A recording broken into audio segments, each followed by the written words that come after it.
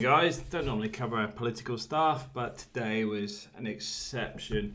Um, first thing i want to say i'm just cracking open a bottle of wine here. This is casa casa de la ermita. Um, it's a 2013 bottle. Cost about 10 euros. It's i tell you what you can actually smell the timbers on this one. It smells quite nice does it taste nice? Is the question.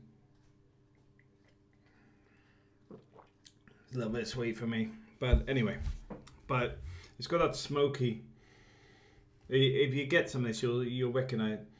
It's like that fresh wood smell um, that you get. I suppose it's well, like wet wet timber. That's what the smell is. But anyway, um, I want to talk about something idiocy out of the UK today, and I'm, it re-emphasizes my point on the crypto side anyway. But we'll leave that to one side for now. So, some bright spark in the UK has come up with the idea that pensioners need to be taxed more, and the 25 year olds need to be given 10,000 pounds. Take that for a second.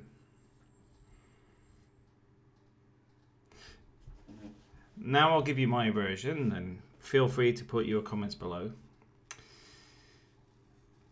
The 25 year olds haven't paid or earned the ability to save £10,000, or the majority haven't. Let's be honest here, the majority haven't. And I was talking to my wife earlier um, in the fact there's a very distinctive difference between me and many other people. One of the things is many moons ago, um, when the carpentry was a bit low, uh, one of the jobs I used to do was actually deal with the dead in the sense that uh, for council properties and others, somebody dies in their properties and they need the remnants removing. And sometimes you'll get people there, liquids have dropped into the floorboards, others, they're like there's a guy that actually sat spitting for about two years and it formed into icicles along the stairs. Another being a big fat guy had been wedged behind the door for two weeks, and his dog his dog had been eating him. Um, he also decided to use the bath as a toilet and things like that. So you can get the picture. It's quite grim environments, but do you know what? I take the money. I take the money because at the end of the day, I have a work ethic. A responsibility to push forward. Um, so it's not a case of ten thousand pounds needs to be dropped in my lap, because that ten thousand pound is not earned. It's not recognised. It has no responsibility. It's the same failing that we have in a benefit class that believes it's entitled to live off the back of everyone else in the same as you get a failed socialist system that believes that work should be a choice, not a need, or the right of choice is their right. Not that it's funded by everybody else. And when I looked at this today, they're talking about the fact that pensioners should be paying national insurance. Pensioners should be um, having to recontribute to a system. Here's a little bit of a common sense injection for you. They've already paid their national insurance. They've already paid their contributions. The government is the failure, not them. They're not a burden of state. They've already paid their way. Um, and I would say you would need to analyze from a realistic point of view from those that are paid into the systems and those that haven't, instead of burdening those that have with the same brush. Because um, myself, I don't really care about my pension from the UK. I'm, I'm, I've got to be honest, I'm probably a patriotic Brit in the sense that I believe in a united British enterprise, kingdom, whatever you want to call it. But the shower of crap that we get out of the UK is not me. It is not. I do not believe in socialism. I do not believe in everyone's entitled to this, entitled to that. It's a false sense of entitlement. Um, I do not believe the NHS is even functioning these days. It lies to itself. It lies in the sense that it relies on a government that does not protect it or work for it. It lies in the fact that it needs, I think there was 3,000 doctors that have been rejected in the last 12 months. That comes from outside of the EU. It lies to itself in the fact that Filipino nurses would rather go anywhere else than the UK because of the, I think it's 36,000, 34,000 pound rule after five years, otherwise they're deported. It lies to itself in the fact that it thinks it can support itself. It lies to the fact that it is overburdened with fat, lazy Brits that quite simply are either receiving healthcare or expect to be given pensions early and everything else. And I know I'm very blunt. I know I'm very critical on this, and I know I am annoyed with it because, quite simply, the failure in the UK is coming from the UK. We have a parasitical government. We have a government that simply believes that it should exist because it exists.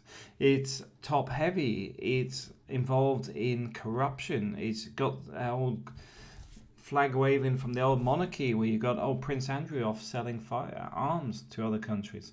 You got Tony Blair interfering in this EU thing. At the same time, how many of the people that we've gone to war against are on his mantelpiece with a handshake, including Syria. Um, reality is, if you believe the crap that's coming out of the BBC, if you believe the crap that's coming out of many of these mainstream media things, I tell you now, roll the things back. I was watching a interview that uh, Peter sent over to me from 1975 relating to the common market.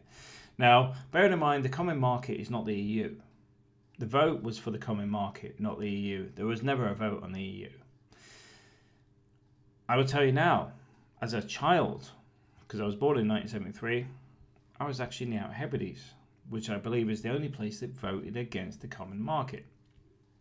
Now, I'll tell you my own personal views on this.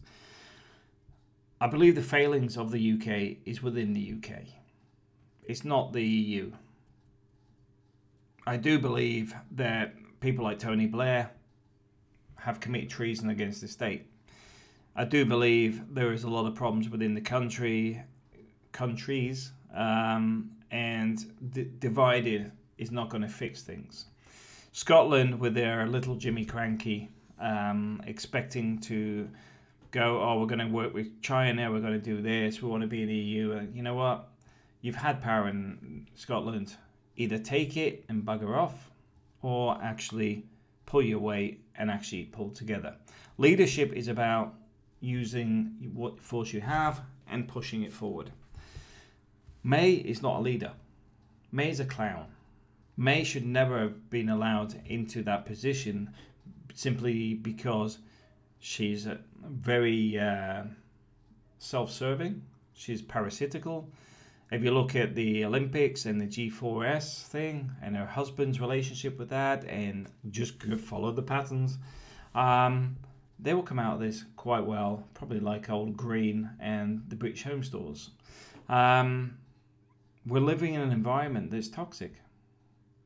And people need to stop thinking it's for and against Brexit. It's nothing to do with it. These by these these guys are not aligned to a country's allegiance. They're either self serving or they're corporate serving. Um, Tony Blair is the ambassador of what's wrong with the UK. He's exactly what is wrong, and so many of these people are exactly the same. And I stress this because, like today, the emphasis is NHS needs more money. These old people need more healthcare. They should pay more into the system. Reality. These people paid into the system. The money was spent over 20 decades, uh, 20 years ago, and the NHS can't support it because the NHS is a burden of state. If you actually analysed where the NHS spends money, you would understand it's not the nursing, it's the the problem. It's not the um, clinical services, it's the bureaucracy. It's the chief executives that will kill people, fail, then move next door and get a golden handshake for moving next door, and yet they should have been struck off and not allowed anywhere near a hospital. That's the problems in the NHS. And they lie to you day in, day out, all the time. Giving 25 year olds £10,000 is not actually a solution to a problem. It's actually inflating the problem in the sense that the argument being is that they cannot afford a house. The housing market is in a bubble. It should have been allowed to collapse, whether people like it or not. If it collapsed, it would have had a revaluation and actually been a realistic pricing model. Instead, we bailed the banks out at the taxpayers' expense, which we could have spent on housing. Think about that. You could have spent it on housing, redevelopments, upgrading, expansion. Um, instead, you gave it to the banks. You gave it to them, and what have they given you in return? A delay time for the next recession. And now they're on about giving £10,000 to 25 year olds to buy into properties. That's what it's, that's what it's about. It's actually the realizing the wheels are starting to turn on the hamster wheel. Because once those wheels stop turning, guess what comes next? Economic crisis. They need to pump debt into the next generation. And my bit of advice on that is educate your kids, educate the next generation, educate yourself as somebody brought up on my other channel today, uh, sorry, today and yesterday, about being a chartered uh, surveyor, don't buy a house in the UK. There is a shortage of chartered surveyors. If a company needs you, they can hire you in. I've been doing this for years. I've been doing it for over a decade.